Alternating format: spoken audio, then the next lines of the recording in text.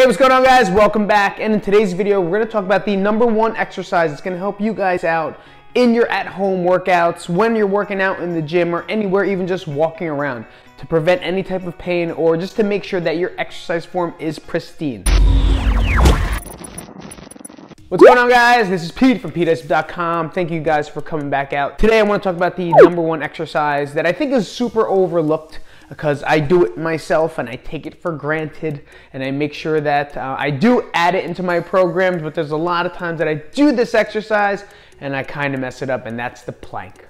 Now I know it sounds so stupid, but if you watch the other video, check out the card above, I talk about the reasoning that boring exercises are important right? It's because it does involve a lot of thinking. It does involve a lot of mechanics. And a plank, a lot of people just sit there, and I'll show you a video of a plank. There. This is what a plank looks like, right?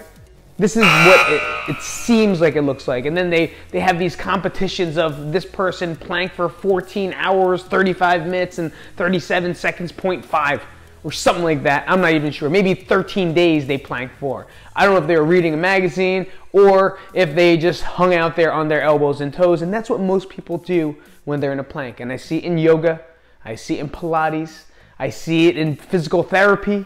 I see in gyms. I see people do planks incorrectly. Why? Because I was that person doing it super incorrectly. Right? I would just stand there and hit the plank. I'm on my elbows, I'm on my toes. I could sit here for hours. Honest, I used to see a person at this old gym I worked at, and this is like nine, 2008, maybe 2008. I was in downtown Jersey City before it became New York City. This lady would do a plank while reading a book and I would train a person and she'd still be there. And I would ask her, like, that's a long plank. She's like, yeah, well, I just like the plank. I'm not gonna, if that's your thing, that's your thing. I'm not going to intrude anymore. But then I looked at the plank and I watched the plank and it really wasn't a plank. It was more of an extension, lower lumbar extension, which is something you don't want, right? Lower lumbar extension, let me explain, means there's an extension inside your low back. So pretty much from here-ish down, right? I don't think I need to get into the science of it. From there to there, and that's where it is. And you don't want that to have much extension. You don't want that to have much rotation. You want that to be as stable as it can. So the tips that I'm gonna give to you guys today is to make sure you're not that lady at the same time. You're not making the biggest mistake that we watch on Instagram, TikTok, Twitter, MySpace, Friendster, ZoomZom. We see them all, okay? Because there's a thousand challenges and it, it requires a plank when a plank could only just be 10 seconds, right? An efficient plank can only be just as 10 seconds. So I'd rather be the hardest, best version of a plank that you can rather than a drawn out two minute grueling plank where you're losing your form, you're losing your thought, and you're losing your intention of your exercise.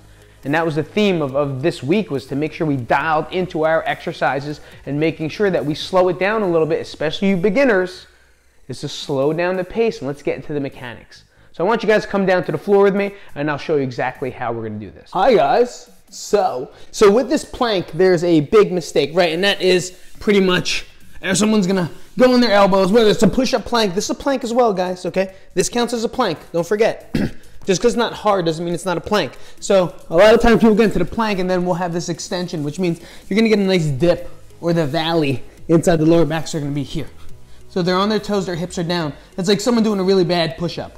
But for me, this actually hurts my lower back. It's actually pinching and I'm not getting full engagement.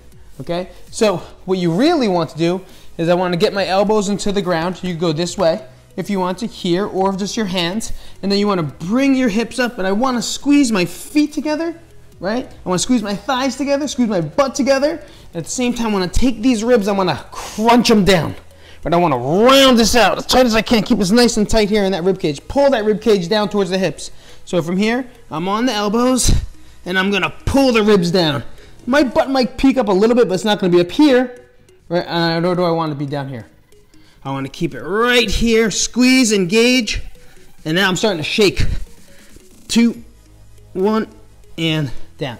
So that's the, the, the biggest thing with the plank is keeping that engagement and preventing you from disconnecting the movement. Okay, I want to get everything to connect at the same time. So the plank is not an easy movement if you make it hard.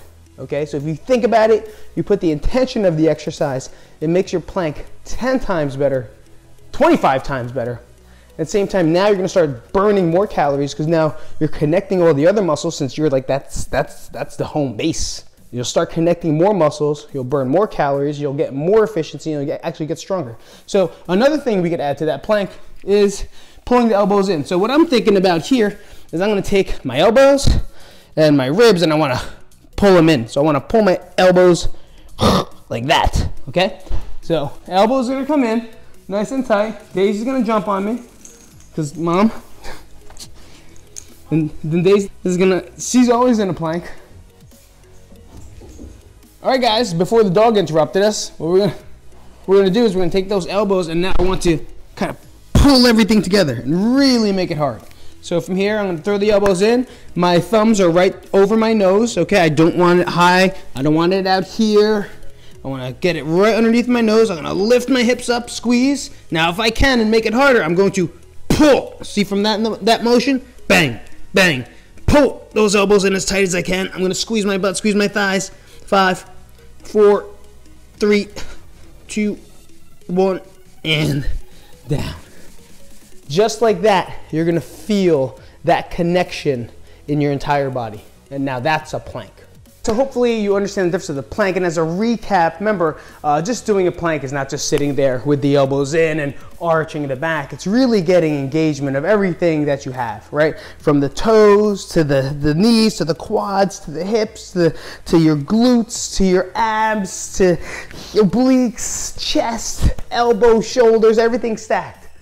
Neck position, you don't want to hang it down too low. You don't want to keep it arched up really high. You want to stack it with the neutral spine and really getting that movement dialed in.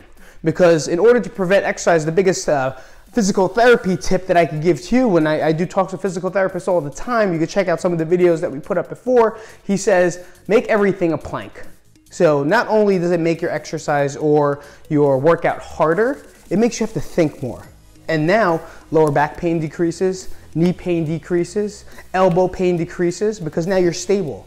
And all your body wants is stability. It just wants to find stability, like in life, right? We want to find stability. So working out is always a metaphor to life. Your body wants stability, so do you. So why are we going to do workouts that are not going to let you create that stability first, especially in the beginner phases? As you get better, you're not going to have to think about it as much. But look, I just did a, an example I'm still shaking whenever I do planks, especially warming up with plank work. All right, so hopefully you guys enjoyed that tip. If you have any questions, do me a favor, comment down below. If you guys enjoyed that video, make sure you like up, subscribe, because I'm here. I ain't going nowhere, but I'm here for you guys, and I'm glad you guys came out. Um, and if you need any help, just you can message me, you can comment if you feel a little shy. Find me on any platform uh, on social media, shoot me a DM, and I will answer the questions for you if you need it. All right? So thanks again for coming out. This is Pete from PeteIsip.com. Thank you guys. I will talk to you guys soon. And hopefully I will see you guys somewhere in life. See you guys later. Guys, if you enjoyed that video, make sure you check out these videos here just to keep working in and keep working on you. And if you have any questions, please be sure to contact me. And if you enjoy this channel, hit the subscribe button. It's somewhere here or there. It's somewhere. It's here. It's there. I don't know where it is. All right. Thanks, guys.